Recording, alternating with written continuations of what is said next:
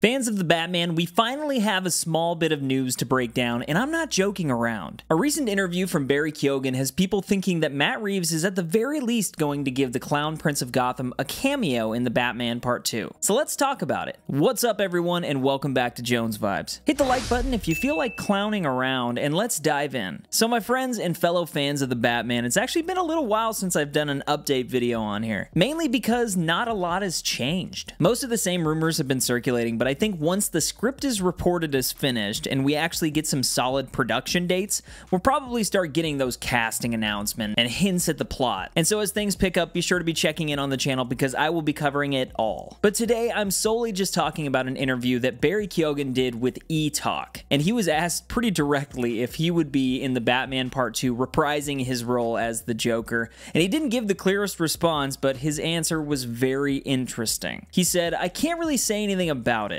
but it would be exciting wouldn't it? Seeing the Joker come to life again. My smile says it all, you know what that means. And just the way that he said all that, like you could tell that he was just hiding this excitement because who wouldn't want to talk about the fact that they are playing the Joker? Like that's insane. But he has to hold things close to the chest, obviously. And I think we can all kind of read between the lines here. Now, like I said, there hasn't been an official announcement at all, and we don't even know what's happening in this film yet. But there clearly have already been conversations had with Barry regarding coming back, and I just think that there's probably a solid plan in motion. And in my opinion, the best way to do it, and I've talked about this a little bit in the past, but you know, you have the Joker in part one, and it's just kind of a tease. And then in part two, you give us a little more, setting it up for him to be the centerpiece of part three. Because obviously, this is Batman's most iconic villain. He's one of the most iconic villains of all time. And I know there's been a lot of talk about like overdoing it with the Joker. There's been so much Joker content in the last decade or 15 years even.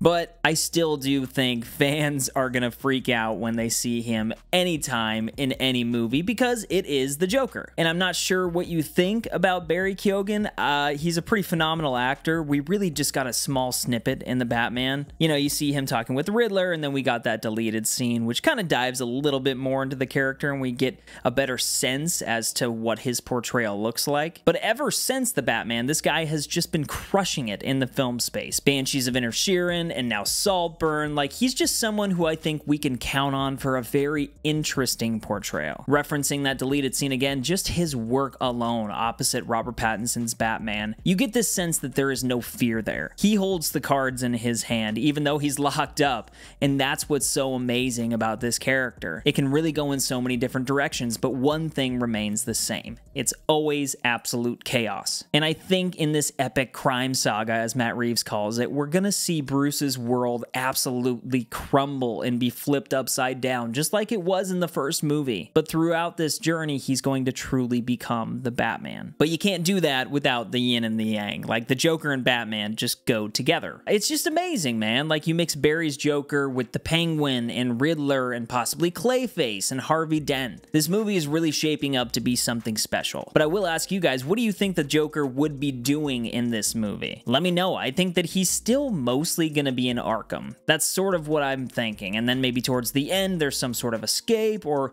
maybe he's already escaped and that's where the movie starts. I don't know. What I'd really love to see is just a real underground take of the Joker, where you have him surrounded by all these goons and like hired guns, a constant entourage who are just as crazy as him, because he's the clown prince of Gotham, you know? And so many iterations have done such a great job, but this is an opportunity to get really, really dark. There's so much content to pull from in the comics that you just feel like the opportunities are endless there, and that's why the Joker keeps coming back. But with the DCU doing its own thing, I think that's going to be pretty fantastical.